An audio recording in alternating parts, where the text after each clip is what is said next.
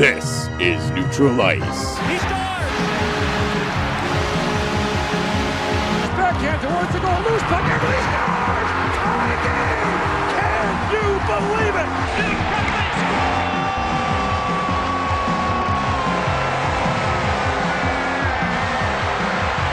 Buffalo's best hockey show every Monday night. In front Richard. Oh, a miraculous stop by Nabokov. Campbell shot score. Foligno scores. Now, here are your hosts, Nick Lippa and Jack Sullivan. It doesn't get any better than this! on Buffalo's original alternative, 91.3 FM, WBNY. 91.3 FM WBNY Buffalo, Buffalo's original alternative since 1982, brought to you by the Buffalo State College Student Activity Fee. This is Neutral Ice, back hockey season, almost here, Brayton, isn't it? Yeah. And we're getting real excited here. Here in studio, Jack Sullivan back with us. Jack, how you doing? I'm doing all right and happy to be back. He's just so mellow and's got a beautiful voice. Nice and calm. Nice and calm. Voice of angels. Joe DiBiase, Frank Arcury joins us as well. And we got a bunch to talk about today in tonight's hour. Oh, man. We were having a huge debate before we even came in the studio about what's going to happen in the Western Conference this year. And we like to talk our Sabres here on neutral ice. But let me tell you, the Central Division in the West is just, oh, salivating with talent. I mean, when you look at these rosters, uh, we were talking. We don't think uh, any of us. We don't think there is a bad team here out of any of those teams in the Central. Does anybody object that on air? No. No, I mean it's it's fair to say that it's the best in the NHL. I mean, you're talking about it right now. One of the teams that was the worst in that division last year, the Dallas Stars, they're a team that could contend for the Stanley Cup this year. And they had one of the best players in the league all around last year, two of them, and Jamie Benn and Tyler Seguin. Mm-hmm. And you could argue they've only gotten better on the defensive side with the signing of uh, goalie uh, Niemi as well. Yeah. So now you have Niemi and Lehtonen. So very interesting to see what the Stars are doing. But let's talk about who we think is going to come out on top this year. And we'll start with Joe. Joe, out of the Central Division, who do you think is going to come out on top? I think it's going to come down to the Minnesota Wild and the Dallas Stars. I think Minnesota is actually going to come away with it. Um, we talked about earlier about Dubnyk being a big X factor on whether they can get it done. I think he's going to have a good season, not as good as he did last year, but I think he'll be good enough where I think their defense, while not elite, is one of the better ones in the division, and I think their offense is just supreme. So when I'm looking at them versus Dallas, especially Dallas, I think has more questions in goal, and they have a young defensive core. So I just think Minnesota's more established. All the players are like right in their prime, so I like Minnesota this year. Frank, what are you thinking right now? I I mean, right now I'm thinking Minnesota as well, and you know, Joe, Joe's right. Their offense, it, I'm not going to say they're supreme, but it's very solid, and that, that's what I got to say about this team all around. Their defense, especially, it's solid. The, like every, eh, you can't say that not one of their guys on their def, on their defense is a bad player. I mean, Ryan Suter's their number one. Jonas Brodin has been their number two, and he's a very good number two. And then you also got to add now Mathew Dumba is a year a year better as well, and he could easily be in the top four this year to go along with a guy like Jared Spurgeon. Then you have uh, a Christian Folin and a Marco Scandella. That's a very good top six right away for Minnesota. That could probably contend with a team like Nashville for one of the best defenses in the Central Division, just in terms of overall their overall uh, talents. And then their offense too. I mean, you got Co- you got Koivu, Vanek, Pominville, obviously Parise, uh, Granlund, Niederreiter. I think Niederreiter's gonna have a really good year this year. And then you know going to uh, Devan Dubnyk as well. Dubnyk had a 936 save percentage and a 1.78 goals against in 39 games with them last season. I know he's not going to put up that that good numbers, but if Dubnyk can have at least a 2.3 goals against and maybe around a 915, 9 up close to a 920 save percentage, Minnesota easily can win this division. Well, I, I don't.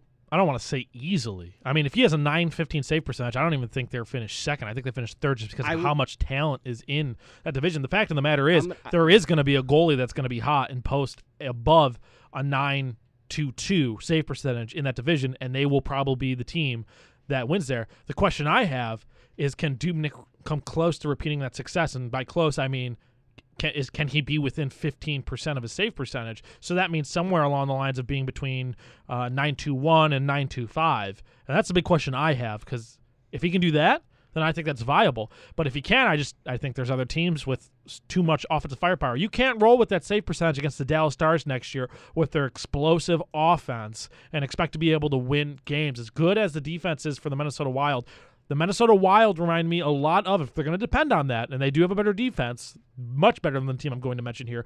But Varlamov from the Avalanche the year before, they rode him hard, and when he did not come close to repeating the success, they were one of the worst teams in the Western Conference. Uh, not terrible, but they were they were probably they were bottom six in the Western Conference, and that's something you look at. And I see the Wild; they're not going to be that bad but I don't think they're going to be number one. I look at a team, I honestly think the Dallas Stars can make a serious run with the improvements they made. And with a healthy Seguin and Benn, if that team can play better at home and the defense plays any better, I think part part of it for me is uh, Trevor Daley is no longer on the Stars, who single handedly lost them games last year. One of the uh, I called the least least valuable player in the league, including one of the most horrific games I've ever seen against the St. Louis Blues, where in five on five action uh, gave up four goals and or uh, sorry in five five action gave up five goals and the sixth goal the Blues scored he was in the penalty box after taking a penalty.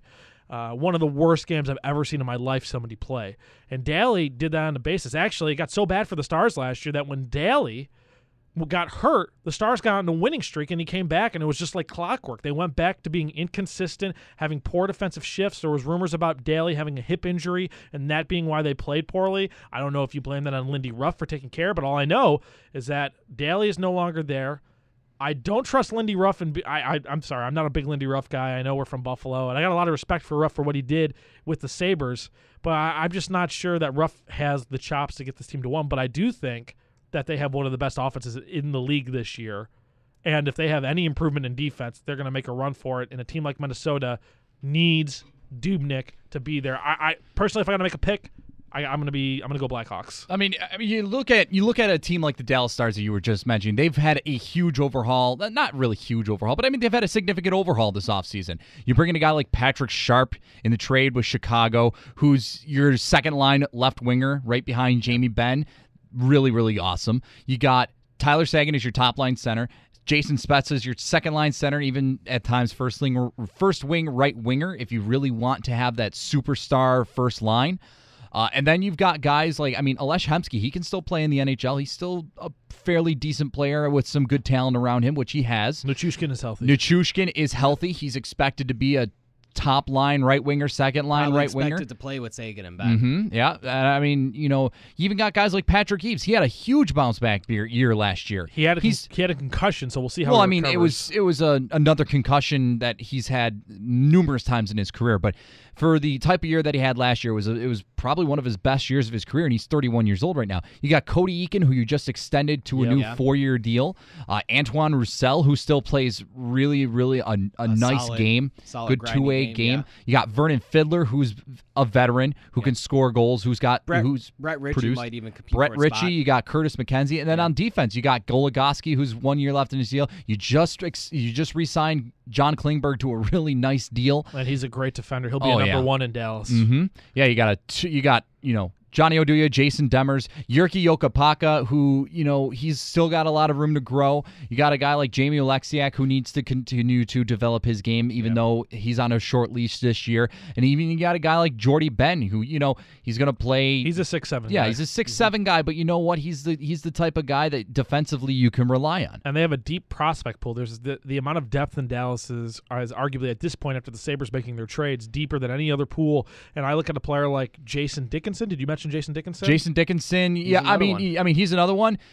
He's He- not going to play a lot in Dallas this year He- unless, there's, an injuries. injury. Yeah, but that's but that's that's one thing I want to make note of is that this is one of their best prospects, Mm-hmm. and he's the guy that on I would say over half the teams in the NHL right now, he, they'd be looking to get him on a third line scoring line, Mm-hmm. Yeah. some way up there because of his potential, what he can do in the league. Dallas Stars just have so much depth and so much player with a guy like Cody Eakin that's already there. They don't need that. Mhm. So you look at that and you go, wow. So they could. You look at teams like that and you go, okay, can Minnesota afford to have that like second line center injury? Can they afford to have that? If I look at Dallas and Cody Eakin gets injured, the drop off between Eakin to Dickinson is probably going to be less than the drop off between somebody in Minnesota with some of the depth. They, their depth has just been there's so many trades they made over the past couple of years, trading away picks, trading away uh, future assets to try to make those runs, like getting a guy like Chris Stewart last year or Pominville the years they've done before. That eventually catches up with the franchise, even if you got some solid players in place. Dallas has put together a roster just like the Lightning have in the East that's full of youth for long, long continuous runs towards the cup. hmm Yeah, and, and Dallas, one of their issues last year was goaltending. Kari Lehtonen was inconsistent. Their backup goaltending was very inconsistent. Yo, uh, they started out with Anders Lindback. He barely could even get a win in Dallas. Horrid. No, Uh, they, he didn't. Yeah, Jonas Enroth, he was okay. I mean, he he had an okay stint with Dallas, but it was nothing spectacular. And now they went out and got Anthony Niemi to back up or even start over Kari Lehtonen. Um, you know, you got a 1A, 1B there. That's going to be huge for a team like Dallas because if one goalie can't produce, you put in another goalie, and if they can produce, then you start them, and then you just you just keep playing the hot hand, and whoever's going to have the hot hand for the majority of the season will get the start. And, I mean, I guarantee it it, may be an even set of games for each goaltender. They might both play 41 games the whole year just because they're 1A, 1B, and there's no doubt about that. I mean, I mean, pick an argument for that because I mean, you got Niemi who's won a Stanley Cup with Chicago, and Niemi's still pretty young. He's only what 31, 32, 32 years old. Kari Lehtonen's 31. So I mean, you know, they've had experience in the NHL. They've had their runs, and they both have shown that they can be number one goalies. Kari Lehtonen had a great year the year before last, and Antti Niemi when he was in Chicago and in the first couple of years with San Jose, he was very good too. I mean, Antti Niemi, what was it, two or three years ago, was up for the Vezina as the NHL's best goalie. yeah, yeah, two years ago. Yeah. was- I think it was a shortened season. So I mean, their their careers are nowhere near over, but I mean, they're going to have to fight it out in Dallas, and you know, I think that both of them are going to be willing to you know split the time. I mean, they're going to have to. And that's one of the points I think you make that are absolutely great. You talk about that the goaltending is going to get better. It didn't. It couldn't have really gotten any worse for Dallas last year. No. And you look at Dallas almost made the playoffs last year with that horrific goaltending. Could you imagine if Dallas has a goalie that posts a 9-2 save percentage with the offense they have? You're looking at a team that is going to be top three. Their defense has got to be better. Their defense has got to be much better than they were last year. They're they're younger. Their defense is a little bit younger. They got Jokipakka. They've Yep. got you know they've got Klingberg. yeah, Um, y- I mean their oldest guy is Oduya, and he, Oduya is only 34. Yeah. 33. Yeah, 33, 34. Now, now we've been hard on the stars. Now we- we- we've been like really going for the stars here. I want I want you guys to have a counterpoint over there as well for the Wild. Um, as so, what do you guys have a counterpoint to for us saying something like, okay, what do you believe the Wild can do that the Stars can't coming into this year? I would. S- uh, go ahead. Okay, go. Okay. Um, I like Minnesota's defense a lot better than I do. Uh, not a lot better, but I think Minnesota's defense, is, as I said before, it's more solid than Dallas's. I know that if even if an injury happens, I think Minnesota would be fine because their seventh guy right now would be uh, Nate Prosser, and he's uh, he is a pretty good seventh guy. Down in the minors, remember they signed Mike Reilly, and he'll be playing in the AHL this year. He may see some NHL time. He's a very good two-way defenseman. He's from the state of Minnesota, so you know there's got to there's got to be that push that he wants to play play home. Um, and Minnesota, let's see, they got Gustav Olofsson. He's he's all right. He you know, he could be he could be. Minnesota did draft pretty well this year, especially in their offense. They got Is the anybody first- this year they drafted really going to make an impact though this year with the Wild? Um, nah probably not. I don't think Joel not sh- Eriksson Ek is going to be in the NHL. I think he's going back to Sweden to play another year. I mean, when you look at it, I think that the the one thing the Wild does, it almost the, the only the two things they do is just the top end defense in Minnesota, very very good, especially because they can eat minutes, something that Dallas doesn't necessarily have yet, especially with some of the youth there. Uh, they're just not guys that can put in those minutes yet and log those games. You don't expect Klingberg this year to go in and be like a Suter who's like going to be like, oh yeah, I can eat 30 minutes, no problem. Um, that's something Minnesota does, and the goaltending is just more consistent there in Minnesota, and I, I agree with that from what we've seen with Dubnyk. The question I have though is that let's say Niemi posts a 918 and Dubnyk posts a 922. Is Minnesota going to have enough offensive firepower really to? Outscore the Dallas Stars even if the goaltending's even slightly worse? Well, I mean, they've got. Uh, it, don't get me wrong. Minnesota's got some really good offensive talent. Zach Parise is very good. Mikko Koivu at 32 is very good. Still, Thomas Vanek can put the puck in the net. Uh, Pominville. M- maybe not. he- Maybe he's I- not problem, consistently. the, yeah, I, I know that the problem I do have Vanek, he's a very lazy player. Yeah, then that, But- and that's where I was trying to get that- at. It's yeah. just he's just not But then consistently you still good. Got, yeah, but then you say you still got Pominville. You know what you're going to get out of Pominville. Charlie Coyle's an up-and-coming Coyle's talent. I think another one. Granlund has had a really good career so far. I due- think he might take a big step this year. I just said what I've seen I in the mentioned past. Niederreiter, And I- Niederreiter earlier. I He was like a 20 those- goal scorer last and year. I like those plays, but if I go skater to skater and I look like I look at a guy like Parise, Sean Bergenheim! if I look at a guy like Parise, I can immediately look at somebody else on the Stars and go Jamie Benn, and you're going to go, is there even a comparison right now for offensive production? And it's no. Uh, Jamie Benn just blows him out of the water, and then, and then you go Tyler Seguin, and you go, there's nobody that even comes close to that. Well, I mean, Parise's not a pure goal scorer. He's not. Pre- But the Stars just have guys who can produ- can make shots, produce points, and you want to go in, then you can go to Spezza, and you can go to Eakin, and then you can go to all the youth that Dallas puts up there on the offensive side. It's just for me, there's absolutely no comparison on the offensive side for Dallas. Whereas to, for Minnesota, I think there's no comparison for Dallas. Minnesota's defense, there's just no comparison there. There's just too much youth there for Dallas to really match what Minnesota has now. But on the offensive side, I just think that there's just too much talent for Dallas right now on the offensive side of the puck. And I like some of those guys, but they're more value guys, kind of similar to what the Sabres had supporting Briere and Drury. And like that kind of Briere Drury kind of guy is kind of like a Zach Parise right now, um, comparative to where you just have two of the top five point guys playing on the same line in the NHL right that- now, well- and Seguin and Benn. Dallas had more shots per game than Minnesota did last year. Dallas is average, eh, but it's not by let- it's not by much. Dallas had 31.2 shots per game, and the Wild had 30.8 shots per game. and But here's the thing. You got to have good defense and you got to have good goaltending because Yeah. Dallas averaged three point, I believe it was one three goals per game. That was second best in the NHL. However, they gave up 3.13 goals per game, which was right near the bottom of the NHL. Part you of that- can't have that. part of that poor defense, part of that poor goaltending as well as a mixture. Mm-hmm. I don't think the Stars are going to win the Central. However, I don't think the Wild are either, but I think the Stars and the Wild are going to be fighting for that two through four spot where you know one of these teams is going to be at least a wild card. And there's a reason why Minnesota was a playoff team last year is because they did not give up shots on goal. They only gave up an average of 27.6 shots a game, which is pretty good. They have one of the best defenses in the league. Ryan Everyone- Suter, Jonas Top Brodin, five. Marco Scandella, Jared Spurgeon. and I want and uh, Matt Dumba, by the way, who I think Yes. 21 Yeah, years old, very good point. former Yeah. seventh overall pick. Last year, he played 58 games and he ended up with eight goals as a 20 year old. that could increase. Yeah, And that could increase. I don't know if he'll take. uh, He'll take a big step at some point towards being like a really good, really like He's- defenseman. Dumba- I don't know if it'll be this year, but even now, he's still very productive. You know Dum- what's you know what's going to help him as well is the fact that he plays with so much talent. We saw what Myers was able to do when he played with talent in Buffalo. Yeah. A guy that young. Is that what you're going with that, Frank? Yeah, I was gonna say I think Matt Dumba has the talent around him where he can really take a step up and even compete for a top four spot on the de- on the defensive side this But year. there's no pre- the good thing is there's no pressure for him Yeah, to do that because really they already have a pretty pressure. decent top four. The one thing I'm going to say uh, to do this, and we'll, we'll go to Jack and Jack's prediction on the Central right now. Uh, Minnesota, while they have really great defense, I think this really comes down to how good in net is Dubnyk going to be? Because I look at Kuemper last year, and Kuemper killed it at the beginning of the year with Minnesota. It just seemed like plug and play at goalie. It didn't matter who was there; the defense was so good. However, nine three six is a crazy save percentage, and that team until he went on that winning streak was not a playoff was not in a playoff position in the West. So when you're looking at this team, Minnesota, I think will be a playoff team. But I look at a team like the Stars, and if Dubnyk is posting around 916, 917, they'll be a playoff team, but they're not going to be winning the division. It's going to be somebody else, and I think they're going to be fighting with the Stars at that point, who maybe aren't a Stanley Cup team this year, but they're developing into the one with the youth where Minnesota may be running out of time three years from now where you look at that team and now they got some youth coming up. A lot of their other guys, Parise will be older.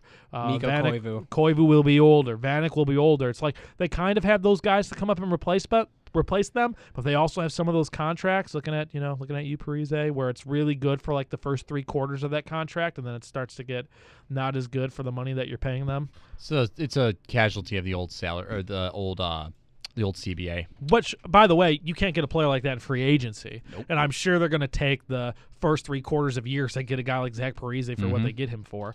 But that being said, it's still going to hurt potentially where you end up pumping out average teams for a period of two years, kind of go through this weird process. Something I, I we'll talk about this at another point. I fear the Rangers could kind of get into at this point with some of the trades that they've made because we got Jack on the show. But Jack, before we move on, Central Division, who do you got winning the Central Division as of right? It's crazy, it's really early, but who do you think could come out the leader as of right now?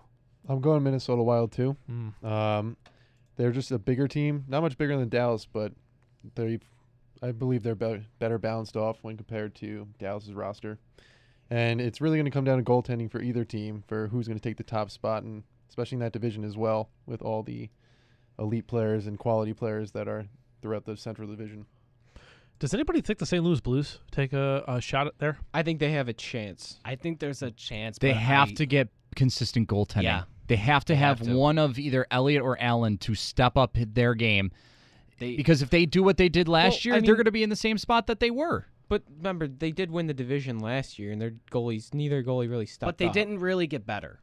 No, they. I mean, you But know, do they have to get better? Yeah, I think Yes. so. they went into the playoffs and they didn't even know who their starting goaltender was, and you know they decided, okay, we're going to start Allen for the playoffs, and boy, eh, they just Well- still couldn't. They still couldn't figure it out.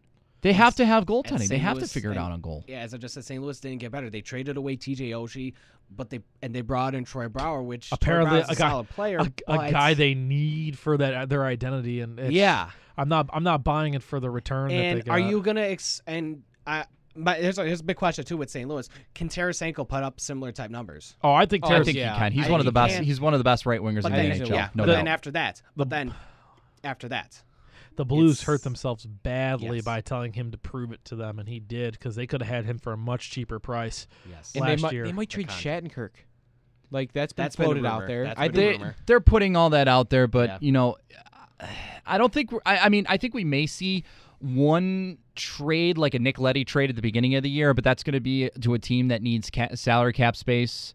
Um, because that's what Chicago had to do. They needed cap space. They needed to trade Leddy. They traded him. And then Boston needed cap space, and they had to trade Boychuk. It, it happens to those teams that come, you know, a week or two before the season when it comes to that salary cap crunch. That's when you're going to see a trade like that.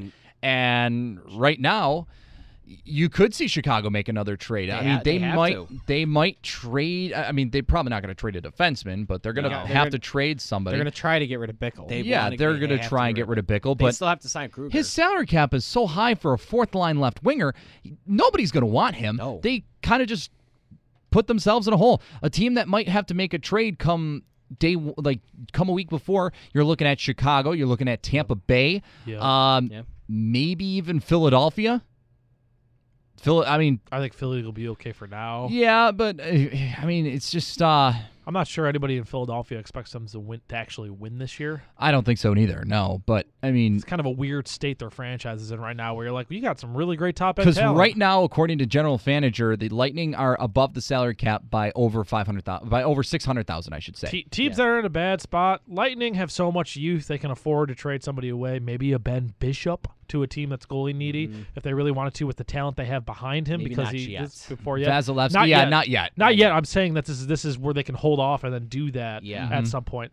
Uh, that's where they can look down the line. As we're a team as where we look at the Anaheim Ducks and we go, wow, your team is just not in a good spot right now financially wise, especially after that uh, Kesler deal. Uh, They are in a lot of trouble. There are a couple of teams out there that are financially uh, done for within the next three years. Right. And the Ducks are one of those teams where they have Corey Perry and they can totally the Perry Getzlaf Ket, Kesler. That thing is going to carry them all throughout because once they have to pay some of their higher defensemen, uh, they're going to find a hard time doing it. So that's another team in the future. Next year, you could see maybe they try to clear some room and trying to sign some of their The only- defensemen. I, the way it looks like I'm on general manager as well, Brayton with Tampa Bay.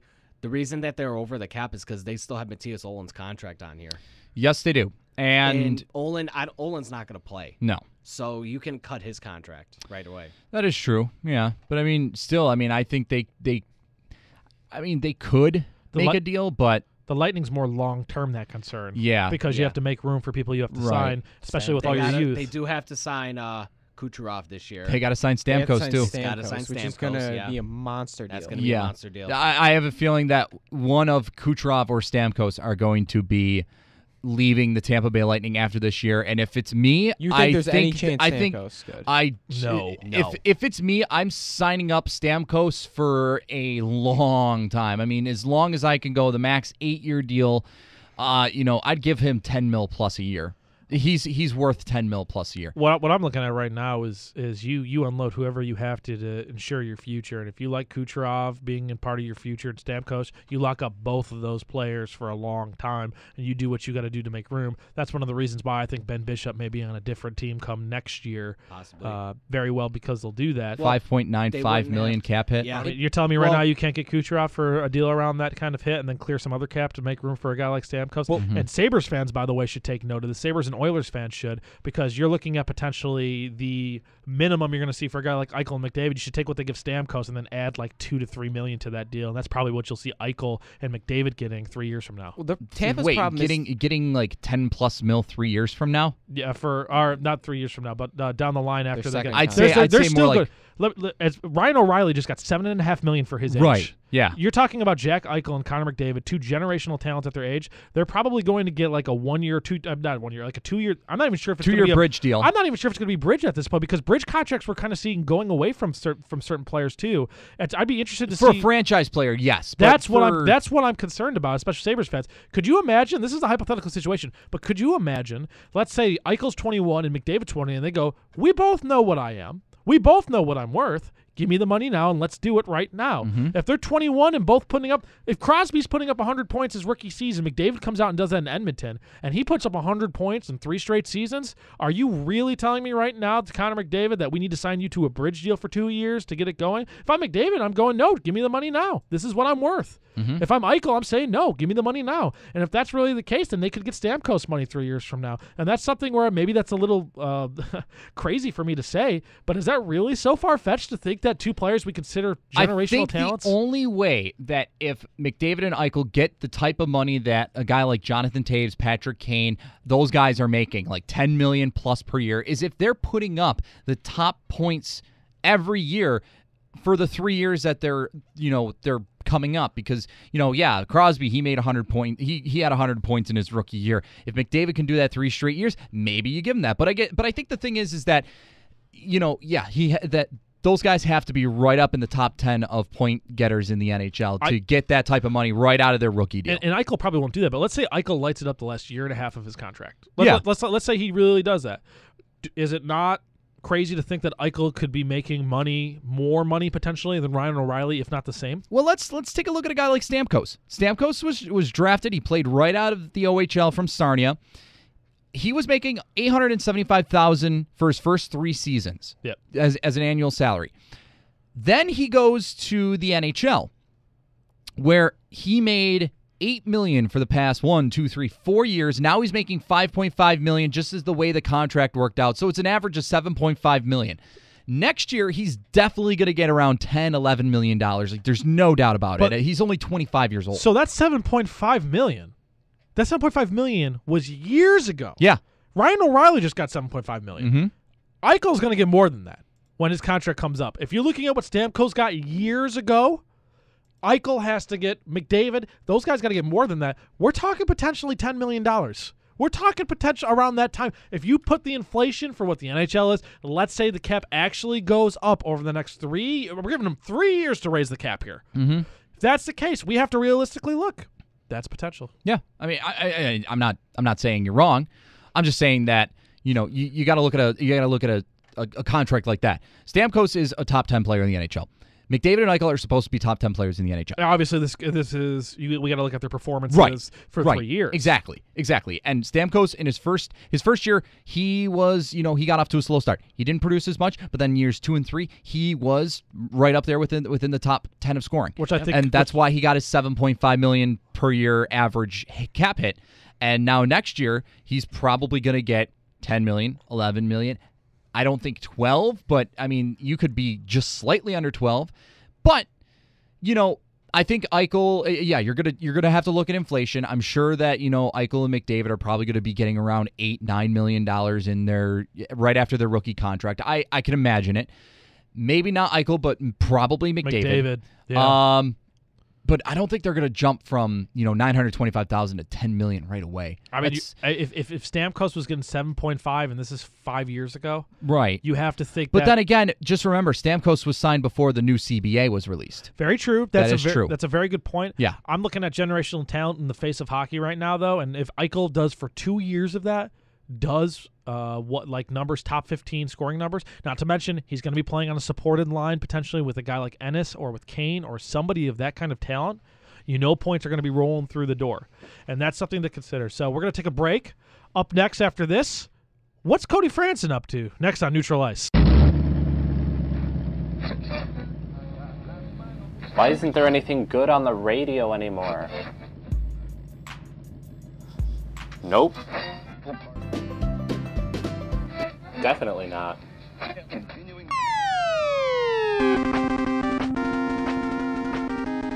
Wait, I remember this. I loved this game when I was a kid. Who's playing video game music over the radio? You're listening to WBNY Buffalo, Buffalo's original alternative since 1982, brought to you by the Buffalo State College Student Activity Fee. I'm Nick Lippa, and I'm here with Mike Indiano, and thanks for tuning into our show, The Princess is on another station. Sweet, I wonder if they take requests.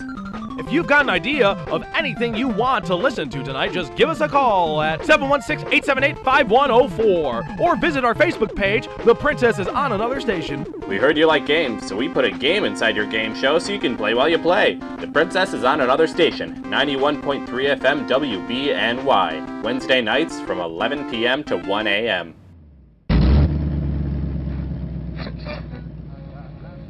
Why isn't there anything good on the radio anymore? Nope. Definitely not.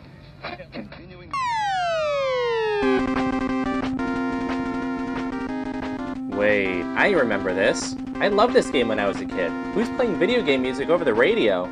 You're listening to WBNY Buffalo, Buffalo's original alternative since 1982, brought to you by the Buffalo State College Student Activity Fee. I'm Nick Lippa, and I'm here with Mike Indiano, and thanks for tuning into our show, The Princess is on another station. Sweet, I wonder if they take requests.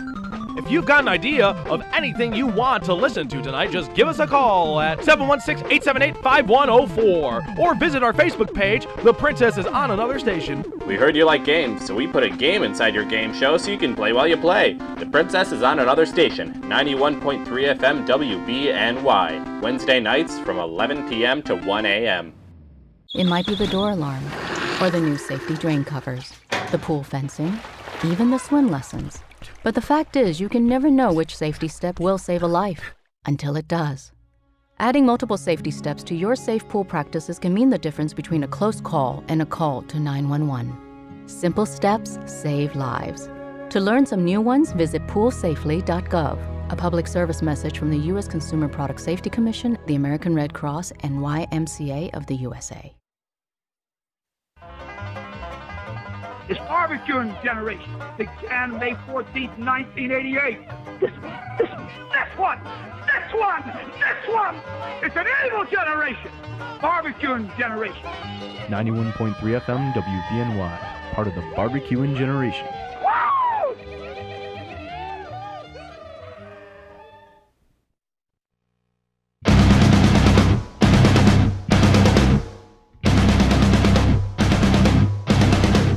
You're listening to Neutral Ice on 91.3 FM WBNY. I am Joe DiBiase, joined by Brayton Wilson, Nick Lippa, Jack Sullivan, and Frank R. Curie. We are going to tackle the Cody Franson movement over the past few days. Cody Franson, who has became a free agent on July 1st, had not signed with a team. Only marquee free agent really left. Um, of course, Mike Harrington of the Buffalo News tweeted this week that he was in talks with the Sabres, that the Sabres offered him a two year deal. Now, this is a player that only 28 years old, so he's still in the prime of his career. Yeah. Offensive defenseman, which is what the Sabres really, that's the only thing they need right now, is like Yeah. a p- really good power play offensive defenseman. And Franson, by the way, since 2010, sixth best power play defenseman in the NHL. He has Very efficient. very efficient defenseman. Yeah, when he was with Toronto, And I'm not gonna say Nashville because he just didn't fit in with that team. No, I mean he was on a bottom six, or he was on the bottom pair. He wasn't playing on the power play at all. Yeah. Um, I'll say this: he I think fits perfectly for this team, just by the fact that they don't really have a guy like him right now. Ristolainen and Bogosian would be your top two defensemen on the power play. Yeah. Um, Franson, then if you put if you if Franson signs, oh, he would if Franson signs, I think he would be the best one. Probably he would probably put Ristolainen. Yeah. probably. And then just looking at him, I think he kind of relieves some of the pressure off of maybe like you needing to play Carlo Colaiacovo, who we know can't stay if healthy. you signed Franson, he would more relieve pressure, especially well, I I don't. well overall too because he would he would he would play the top four. He would play top four minutes. Likely, you would probably see him with uh, Zach Bogosian, because you would you would, would But then you would bump down Pysyk or someone, and I'm just saying then you wouldn't need to rely on Colaiacovo to be in the lineup okay daily. okay yeah yeah because then you would also you would have Pysyk, you would probably have McCabe, and then Weber Weber would be your seventh. Yeah, yeah well a guy like Colaiacovo wouldn't even make the team. That that's the thing though. That's the thing. Carlo Colaiacovo, even Bobby Sanguinetti too, and um. Uh, who's got Matt Donovan? Mhm. They were signed. They were signed to be ready to play in the NHL if needed. They're meant. They were really meant to play in Rochester Well, if- and be be there for injury depth. If they sign Franson too, I think it does it affords McCabe the luxury where if he's not ready for the NHL, then he Yeah. doesn't have to come in and play. Exactly. He can go back down to Rochester. He can be a top pairing defenseman Yeah. there. Um, I just think Franson's a player that fits the mold of this team. Right now, they're looking at a two-year deal, which I think is perfect That for makes him. perfect sense. Because you're going to need to re-sign Zemgus Girgensons and Rasmus Ristolainen, and you're going to have to re-sign uh, Sam Reinhart at some point. Yeah. Harry Snaps. Harry Yeah, Harry Snaps. Snaps. so at some point here, you're like, Tim Murray designed all these contracts so that Gionta's contract expires when you need to re-sign those guys. Yeah. Um, the only Gian- guy that really goes past is Matt Moulson. But Yeah. then, um, which is fine.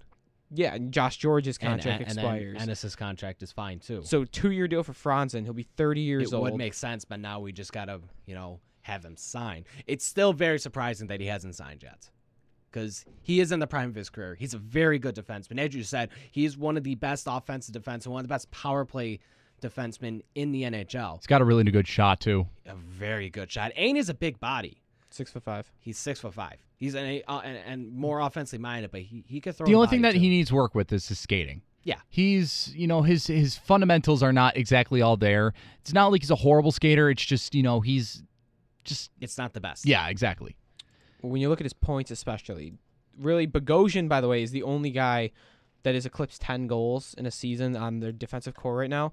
If you're looking at Franson, he has done it. Um, he hasn't put up 10 goals, but when you look at his points, he's consistently putting up He good had 36 points last season.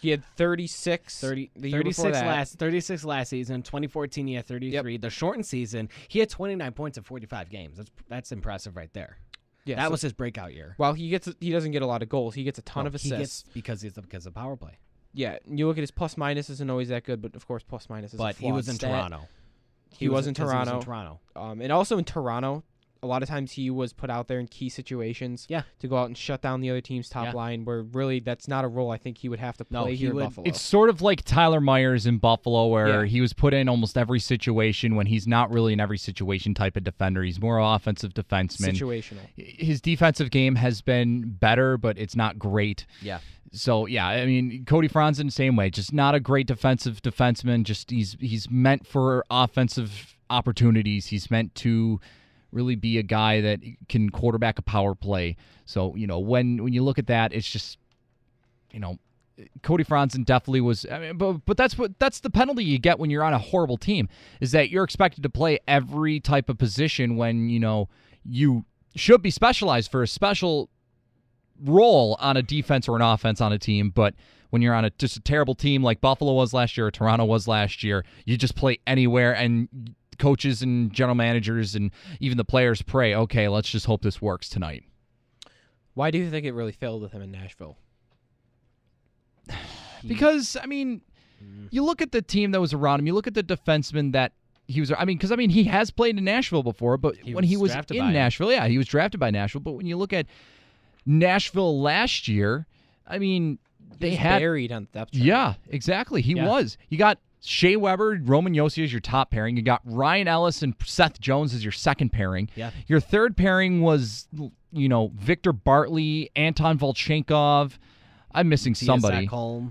Yep, yep. Matthias and then, Ekholm. and then you also and then Cody Franson. Yeah, and Cody Franson, and you know they. I think they only had seven defensemen all year, and Ryan Ellis was playing better than Cody Franson at the Yeah. time because Ryan Ellis is more of a two-way defenseman. Yeah.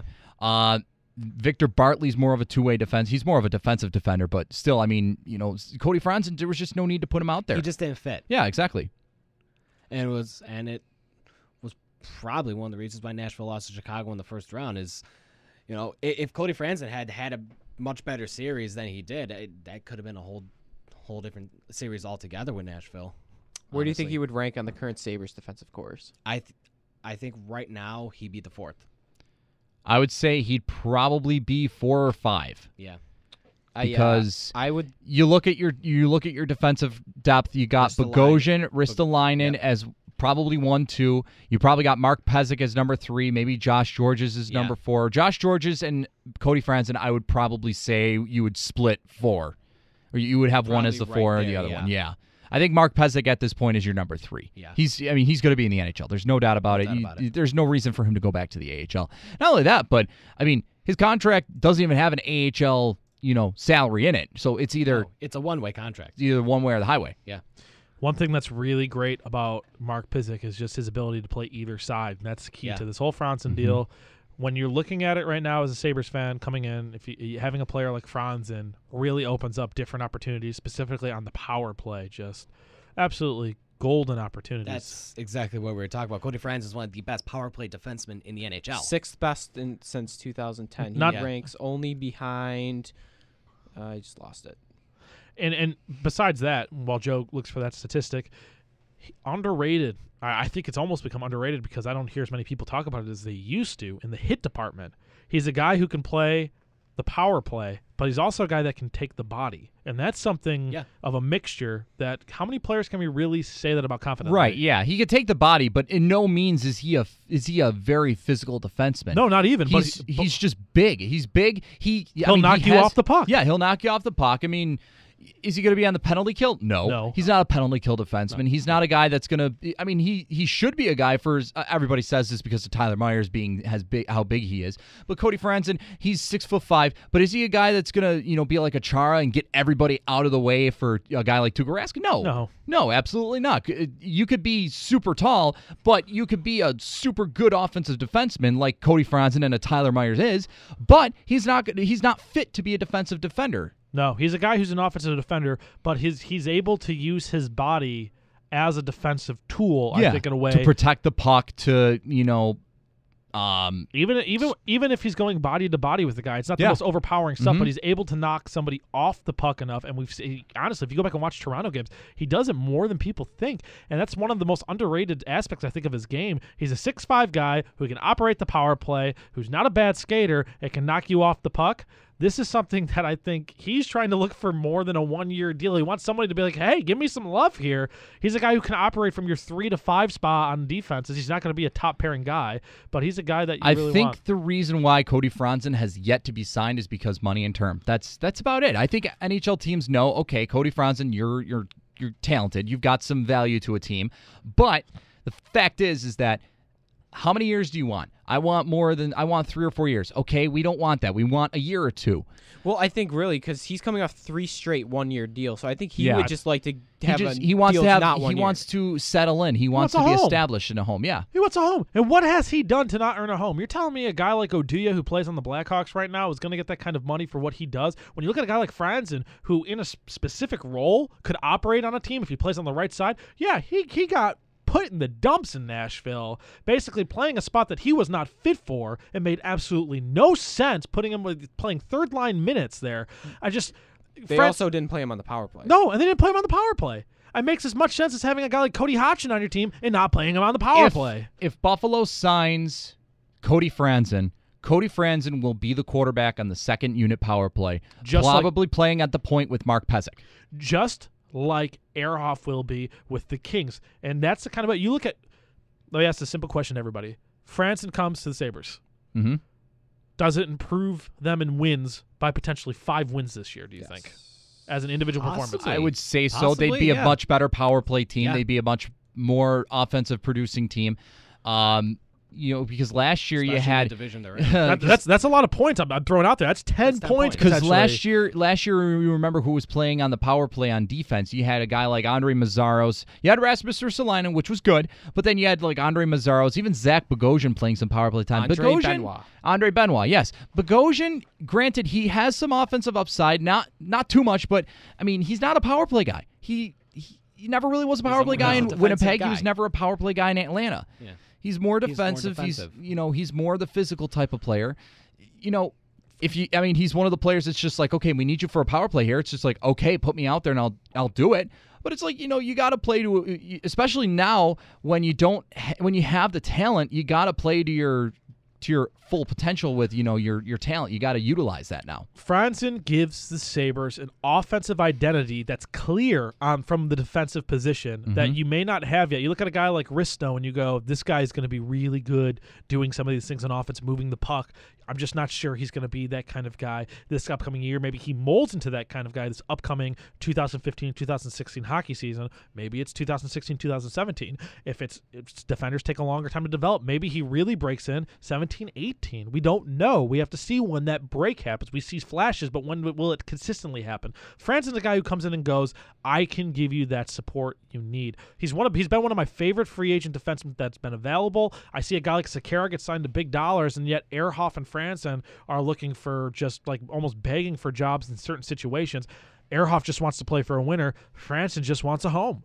And the fact of the matter is, if you're comparing them to a guy like Sekera, it's not that far off of production from a guy like Sekera. Sekera very good. I don't want to underplay how good Sekera is with moving the puck.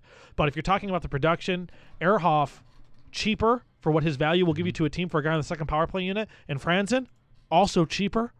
you're getting him on the second power play unit, and especially for what Franson offers with his age as well. He's not a guy who's like coming out of his prime. Anybody want to He's guess in his the prime right now. Anybody want to guess the next youngest defenseman available in unrestricted free agency that is not Cody Franson? Cody Franson's 27. Sergey Gonchar. Well, not anymore. He's, a- Oli- he's on Oli- a professional he's on a tryout. Oli yeah. Jokinen. Oh God, no, no, no, no, no, no. I will Uh, guess Mike LaFontaine. Andre Meszaros. no, Andre Meszaros is 29. Good guess though. Well, who is? Hint: uh, he uh, Western Conference team, Central Division. well, I thought he was a free That's where he played last year. He is a free agent, but he played on a Central Division team last year. Um, I'll give you another hint: Colorado. Jan Hejda. No, Oh. He's very old. Um, jeez, I don't know. Is it? uh, it's unrestricted, right? yeah, unrestricted. I honestly have no idea. God, I'm, I'm, Ryan Wilson. I don't know who that is. Oh yeah. Ryan Wilson, uh, 27. bottom bottom defenseman. yeah. yeah. Uh, not what a not great. drop off. Yeah. Yeah. Uh, next youngest defenseman after that, Mark Fistric, 28. Not even. And close. then Andre Meszaros, 29. Those are all patch guys. Francis is a guy you could legitimately see with a three to four year contract being productive on one of those on, on, on this team. That's that's the one thing. Like teams out there will be trading for a guy like Francis Mhm.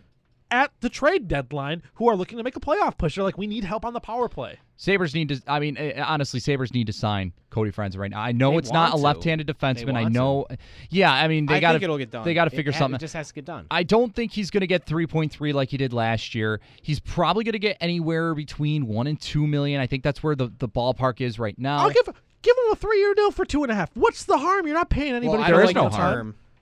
Three years, Three Cody years, you have to Franson, immediate Gergensen improvement on the power play, and he's done nothing to show that when he's playing in the right situation. I think Tim Murray. I think play. Tim Murray wants to see this as more of a next year sort of thing because he doesn't want to sign Franson for probably more than two years because he could see say, okay, this year, you know, we're not going to be a playoff team probably, but we're going to be close. Next year is the year we're shooting for the playoffs. Does Cody Franson help us out next year for the playoffs? And if he sees it that way, then you just make the deal. If he doesn't, then you you kind of hold off on it. So- you got to see what happens. So who would be running the second power play plan? Do you think a guy like McCabe, not this year but next year, is the guy who's going to be doing that? He that? would probably be the could do it. best tool for the Yeah. second line But- power play. Yeah. But you can look at it this way, isn't it? it if you're planning as a GM, don't you want to have three options to do that? Oh, of course you would. So, I mean, I'm looking past McCabe and I'm going, I don't see a better option really for a guy than Franson, even if that comes up for the, for the. You're not getting a guy like Ruhwedel. You're not going. You're not hoping a guy like Gorges pans out. You're looking for a guy that's going to help you generate more shots in mm-hmm. special teams. Franson just makes sense. Give him a three year contract. Give him a home. Buffalo would embrace this guy, especially on the defensive unit, on a defensive unit that desperately needs depth besides some of the younger players they had. He adds what would be, at his age, amazingly, a veteran presence. He would probably be the best. He would probably be arguably the best offensive defenseman that we have on the team right now. Because I mean, Rasmus Ristolainen, yeah, he's you know he's He'll get there. He's he's getting there. getting He'll there, get there. but And he's been some But the thing games. is, is that he's 20 years old. He's Yeah. more of a two-way defenseman. He might b- develop into a player like a Duncan Keith or a Drew Doughty. You talk about Dumba, and you're just like, he scored eight goals in these games, and he's turning 21. And you're just like, oh, yeah, Risto's that young. Except he had to be called up and played all these years. Put that into perspective, guys. Where's Dumba playing? And then where is Risto playing? Risto's playing a top line defense and or top pairing defense, and Dumba's Dumba's playing bottom four. pairing He's defense. playing There you go. third line. Mm-hmm. Expectations, people. The defense still is a progress and work. That's why you look at the team. You go 75 points to 80 points would be a huge improvement with this defense. Franson, though, legitimately, four to 10 points improvement because of their improvement on special teams. But that's going to be all the time we have for today's show. Thanks for tuning in to Neutral Ice 91.3 FM WBNY Buffalo, Buffalo's original alternative since 1982. Brought to you by the Buffalo State College Student Activity Fee on behalf of Joe DiBiase, Frank Arcury. Welcome back, Jack Sullivan, uh, Brayton Wilson, and I'm Nick Lippa. Join us next week. We'll talk more hockey. We'll talk some more Sabres. Tyler Ennis had some comments. We'll get to that next week. And we'll see where and how this Franson thing shakes out as we grow one week closer to the start of the NHL season. Stay tuned